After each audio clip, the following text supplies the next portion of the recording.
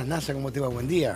¿Cómo andan? Buen día. Bueno, a ver, aparece otra vez el gobierno nacional advirtiendo por el incremento de las prepagas que en la mayoría de los casos para este mes terminaron duplicando la inflación, el último dato de inflación eh, que tuvimos a nivel nacional. ¿Por qué? Bueno, porque están todas por encima del 6%, al menos eh, las prepagas más representativas. No te escuché, Juanpi, si, si tenemos o no tenemos para mostrar los números, pero en cualquier caso igualmente los podemos ir comentando, en donde, por ejemplo, encontramos eh, mails ¿no? De, afiliados de Acor Salud, de Omint, Galeno, del Hospital Italiano, del Británico, de Medicus o de OSDE, que en, este caso, en las últimas dos, marcaron subas del 4,2, 4,3%, pero el resto del 5% hasta casi el 7% en el caso eh, de Acor Salud. Entonces, claro, bueno... ¿Cuánto llevan de aumento ya lo que va del año?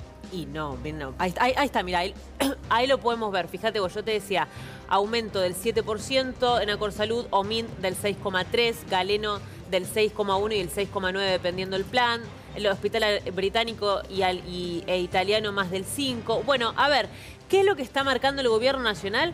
Que están aumentando eh, eh, algunas incluso duplicando la inflación, todas por encima de la inflación y que, bueno, eventualmente podrían volver a tomar alguna medida similar a la que tomaron a principio de año diciendo, bueno, hay que retrotraer los valores que estuvieron por encima de la inflación y generar una suerte de acuerdo de precios. Lo que pasa es que, a ver, el... gobierno le viene dando a, a, las empresas de medicina prepago un montón de beneficios que pueden desregular el precio según la zona o según el plan, que ahora eh, los sindicatos no van a aparecer como intermediarios entre quien consume la prepaga y la prepaga misma, que directamente los aportes van a la prepaga. Pero bueno, eh, entiendo que esperan justamente que las empresas de medicina prepaga, eh, a cambio, no puedan regular, si querés, sus aumentos en base a, los, a, las expectativas inflacionarias. ¿Cuál es, Vos ves que no está pasando porque, bueno, está desregulado, ¿Qué es lo que dicen las prepagas para aumentar de esta forma? Porque después vos hablás con los especialistas o con los médicos y te siguen diciendo, che, igual nosotros no, no estamos cobrando más, te sigo necesitando el copago. Bueno, es que no tienen que explicar nada, ¿valen? Porque desde el eh, decreto 70-2023 tienen absoluta libertad para hacer lo que quieran con las cosas. No tienen nada que explicar. Ahora, le la devolución esta de que habían acordado con el gobierno que te iban devolviendo en cuotas. Yo he visto eh, facturas de prepaga, te devuelven 10 mil pesos por mes. es un chiste. Claro, es un chiste. Bueno, a mí me han llegado, lo era 2.500 pesos.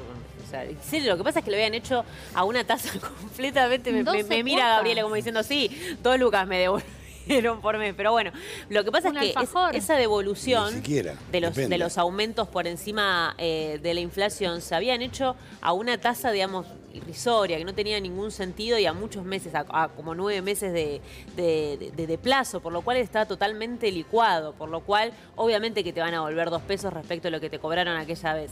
Pero bueno, vuelvo a lo mismo, el gobierno le está dando beneficios a las prepagas, ¿no? Como los que acabo de comentar, pero bueno, la desregulación se impone, gana la carrera y si las empresas entienden que tienen que aumentar entre un 4 y un 7%, bueno, lo van a hacer y dependerá eh, del cliente ¿no? del consumidor de prepaga si siga afiliado o no, porque no hay acuerdo de precios mediante. Aparece la, idea, aunque no la nombran así, pero solapadamente es eso, cuando justamente ven que los números de aumento trastocan con, la, con el proceso desinflacionario, en este caso por segunda vez. Pero bueno, es lo propio de las desregulaciones, así.